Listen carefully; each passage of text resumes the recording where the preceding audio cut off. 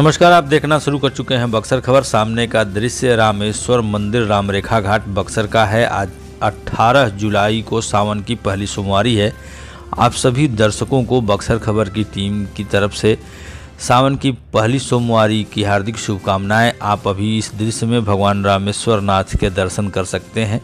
इसको हमने आपके लिए जूम करके शूट किया है। पहली सोमवारी की सुबह ही सुबह पाँच बजे यह दृश्य रामेश्वर मंदिर रामरेखा घाट का है। आप घर बैठे बक्सर के पौराणिक शिव मंदिरों के दर्शन कर सकें।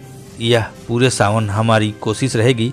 इसी कड़ी के तहत आज पहली सोमवारी को रामेश्वर नाथ मंदिर में दर्शन पूजन जलाभिषेक करते श्रद्धालुओं की यह तस्वीर। भगवान अपने भक्तों के बिना अधूरे हैं। ऐसा हमारे शास्त्र कहते हैं, आप जब इस भीड़ को देख रहे होंगे तो आपको लग रहा होगा, यह पावन मौका सावन की प्रथम सोमवारी पर रामेश्वर नाथ मंदिर से। अभी आपने गर्भगृह की तस्वीरें देखी, उसके बाहर भगवान नंदी से अपनी मांग रखते श्रद्धालु भक्त।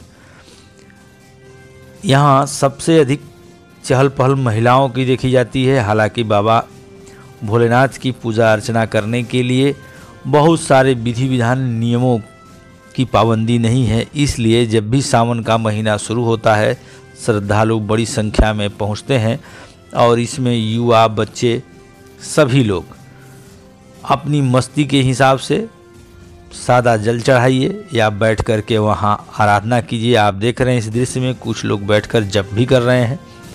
भीड़ भाड़ से दूर महिला श्रद्धालुओं की अगर बात हम यहाँ न करें तो सब कुछ बेमानी है क्योंकि उनकी वजह से ही आस्था का यह महापर्व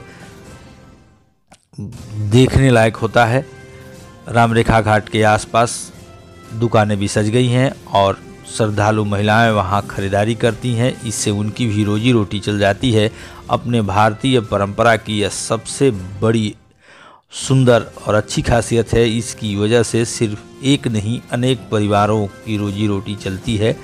ऐसा नहीं है कि दुकानदार सिर्फ़ हिंदू धर्म से ही हों।